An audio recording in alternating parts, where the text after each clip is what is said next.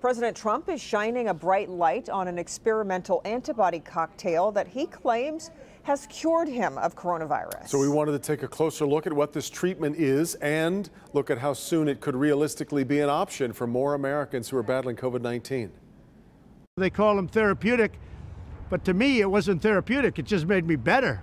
Okay? I call that a cure. I want to get for you what I got, and I'm going to make it free. You're not going to pay for it. Medical experts are quick to caution these experimental drugs are treatments, not cures. But they are among the more promising therapies being tested right now, and they may be moving closer to the general public. Last night, Regeneron submitted a request to the FDA seeking an emergency use authorization for the treatment. The drug is a combination of two manufactured antibodies. Those antibodies bind onto part of the coronavirus's spike protein. The virus needs those spikes to invade our cells and attach itself.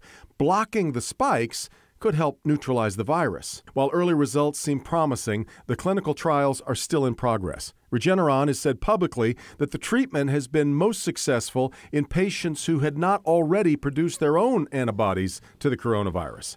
As for the president's claims that the antibody cocktail would be free, Regeneron has received more than $500 million from the federal government as part of Operation Warp Speed. The company says there are doses available for about 50,000 patients right now. They expect to have enough for 300,000 patients within the coming months.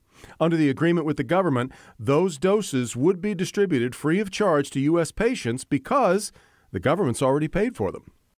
And while the Regeneron antibody cocktail is attracting the most attention right now, there are actually at least 70 different antibody treatments currently being studied to fight COVID 19. Eli Lilly has also submitted a request to the FDA for emergency use authorization for its antibody treatment.